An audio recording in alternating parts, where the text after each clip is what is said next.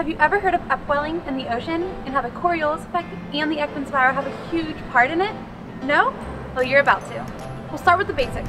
What is the Coriolis effect? Well, it's a term used for the movement of objects that veer right in the northern hemisphere and left in the southern hemisphere. But what does that exactly mean and how does it work? Think of trying to draw a straight line on a sheet of paper. Easy, right? But what if the paper is turning beneath you? Not so easy, is it? This is what happens when the wind is trying to go straight, but the Earth is rotating beneath it. Now that you understand the Coriolis effect, the Ekman spiral will be a piece of cake. Picture wind trying to blow north. Due to the Coriolis effect, it will change directions to the east. On water, that wind blowing north will carry the water to the east. And with the continual rotation, the water beneath the surface will blow south. And then the water under that will blow west, and so on and so on.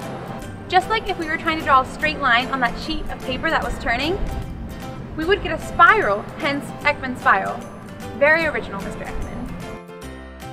So now we just have one more essential piece to learn. What is upwelling? If you were to shrink the ocean and put it in a cup and color coordinate the density levels, you would get something similar to this. Starting with less dense water on the top and the densest water on the bottom, these layers stay pretty well separate.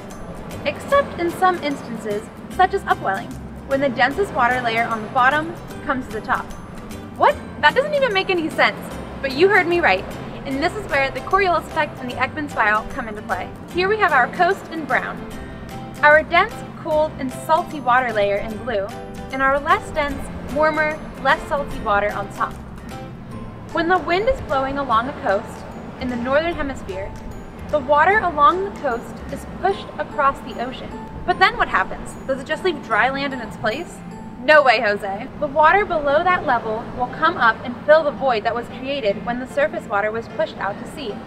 But why is that so important?